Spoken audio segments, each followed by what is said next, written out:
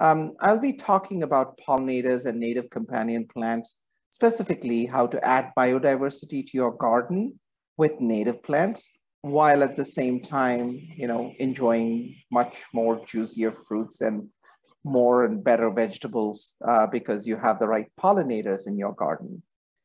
Now, flowering plants, basics, everybody knows this. Plants don't flower because they look pretty to us. They plant uh, plants flower because they uh, want to have sex. They want to transfer pollen from the male anther of a flower to the female stigma. Now, this can happen through a variety of different ways, wind and water and insects and birds and uh, mammals. But, right, a vast majority of pollination happens through insects. Um, I think over 80%. And, and, and really the answer is not far to seek, right? So if you think about a pin-sized uh, male anther trying to, uh, you know, send microscopic pollen to another pin-sized female stigma, which might be miles away, throwing your pollen into the wind and hoping the capricious wind is going to carry it right to that um, stigma, uh, not, not going to happen that easily, right? On the other hand, bees, butterflies, beetles, uh, mammals, whatever, these are extremely smart and they carry that pollen with pinpoint precision. Um, and so the, the, the, plant has to expend fewer resources uh, while uh, essentially uh, in the process of pollination. Now, it's kind of very weird when you think about it that, you know, um, when a male and a female of a species want to have sex, they really need this other species intermediary in order to do it. Um, so yeah, it's an innovation and it's an extremely successful innovation. And it's a recent uh, innovation, evolutionarily speaking when you look at evolution, when you look at the history of life, that's, I don't know, three and a half billion years old on this planet. Um, you don't, you, you have to wait until almost 140 million years ago. That is the Cretaceous. So well after the Jurassic, when the dinosaurs existed, right? In the Cretaceous is when you get flowering plants really taking over the face of the earth. And um, the, the, when you look at the, the when you look at the uh, paleontolo paleontological record, you also find a simultaneous explosion in butterflies and bees and wasps and beetles and anything else that pollinates. So this coevolution turns out to be this plot by flowering plants and insects to take over the world and actually, you know, it succeeds. And that's why we enjoy all these beautiful apples and pears and tomatoes and whatever else right? So, so this, so, so it's important to understand this for your garden because coevolution is a specific relationship, right? So a specific flower with a specific size, shape, color, and structure is engineered to allow a certain size and dimension of uh, insect to come in and pollinate. And not only that, because this relationship of coevolution not only provides nectar, right, it also very often provides habitat, and then it also provides a host relationship. So you're all familiar with, um, let us say, monarch butterflies that lay eggs only on milkweed plants and you know hatch their young, which eat milkweed leaves in order to grow big. Uh, well, there are similar relationships all over the plant kingdom, and you'll find specific interactions between um, specific bees or wasps or butterflies and plants. So this relationship, right, of coevolution uh, attracts certain kinds of pollinators to certain kinds of plants. And that is something you need to be able to use in your garden because all the plants that you have in your garden, the tomatoes and the peppers and the eggplant, they had wild relatives, wild ancestors, right? They had wild ancestors who depended on a specific kind of pollinators. For example, tomatoes. Now, tomatoes, as many of us know, can self-pollinate, but um, scientists studying this have basically observed that if bumblebees pollinate your tomato plants, then you get far more fruit, meaning flowers much more consistently turn into fruit. And not only that, the size and the shape of the fruit and the juiciness and the content of the fruit actually improves by virtue of the fact that they were pollinated by bumblebees and not self-pollinated, right? Um, similar things with peppers, eggplants, green beans, squashes, cucumbers. Some of them self-pollinate, some of them don't. But in any case, insect pollination does result in much better yield and much better quality of yield as well. Uh, and so you do want to attract the right sized insects into your yard in order to pollinate the right, um, uh, right vegetable or fruit. And, and, and so, you know, the best way to attract these insects is, you know, put in native perennial wildflowers into your garden, right? Either in the border or in a nearby meadow or whatever it is. So you're attracting all these, uh, the right butterflies or a very diverse set of butterflies, bees, moths, wasps, etc. in so that while they are there, they can go over to your vegetable plant and pollinate that as well. Um, so you're bringing pollinators to your garden, which you know, which which are attracted by the nectar pollen as well as host plants. And because you're putting perennial plants in, the perennial wildflowers in, you don't need to buy that plant year after year and plant. You just put it in once and you enjoy it for many years to come. Um, these are drought tolerant, deep rooted plants that are hardy and don't need fertilizer and pesticides. So easy maintenance. You need to weed, but you don't really need to fertilize or put on pesticides on them.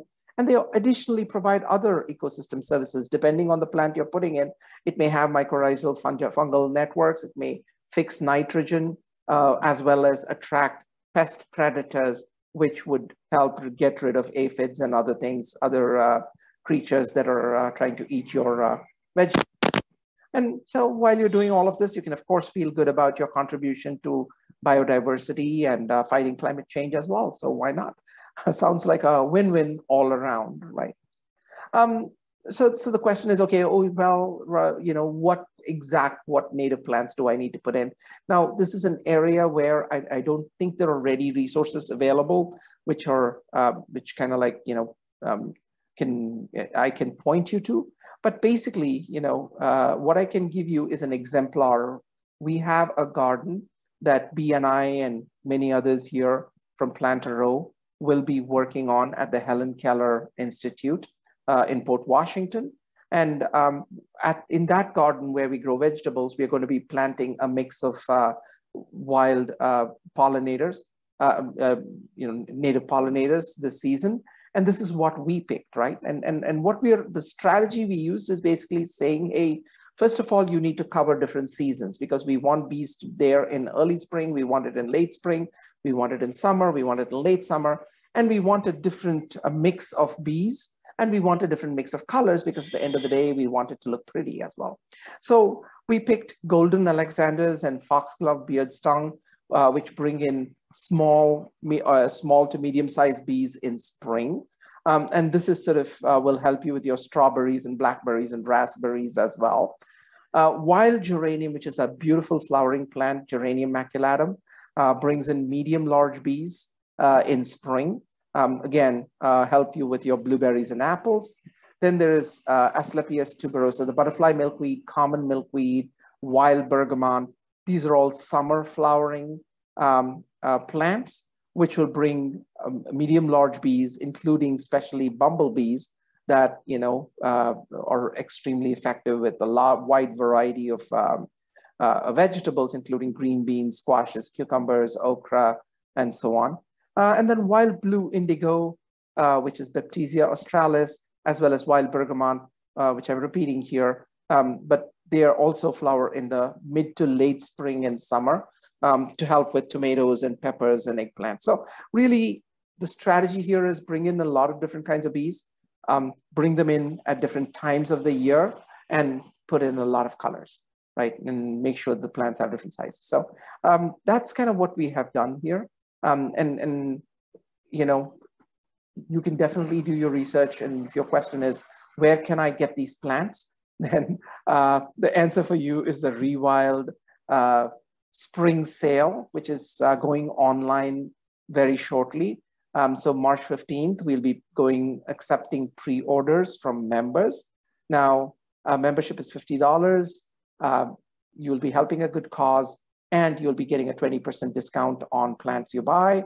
Uh, plus, you get an exclusive week to get your hands on uh, some hard to find plants. Um, so that's kind of members only that first week. And then we open it up to the general public uh, starting March 22nd. And then the plants will arrive, right, um, uh, around Mother's Day, and you can pick that up from Port Washington or from Lake Grove. So head on over to uh, www.rewildlongisland.org for more information about this uh, plant sale. Uh, the second thing, um, we have a sustainable garden tour coming this summer. Uh, we are going to be demonstrating gardens that are beautiful, biodiverse, and sustainable, right? Um, so they'll feature native plants together with uh, organic fruits and vegetables, water conservation, recycling, you know, soil regeneration, composting. I mean, just all kinds of good habits for you to build a beautiful garden that has a low carbon footprint and brings in all these beautiful, beautiful bees, buds, you know, butterflies to your uh, yard. Um, so, you know, if you have a garden uh, like that, please showcase your garden. Uh, you know, just reach out to us and let us know that you have something and uh, we'd be, you know, glad to select from um, whoever submits. And then, uh, you know, if, if, if you, on the other hand, you have some time and you want us to help with the logistics and planning, um, please reach out and volunteer as well. So that's the Sustainable Garden Tour. And if you want any more resources, right, um, or, or you want to, you're curious about our organization, Rewild Long Island, please head on over to rewildlongisland.org we have a resources page, which includes a lot of great blog articles of people who have tried out many of these ideas, reporting on both their success and failures. There are links to web pages uh, which have compendia of wildflowers, plants, um, as well as a lot of other resources. So you can definitely um, go there and uh, learn more and, uh, and join us, right? And join us. We are very interested in new members, we are interested in volunteers, we're interested in anybody that wants to put their hand in the dirt and grow beautiful stuff. Thank you and uh, happy gardening.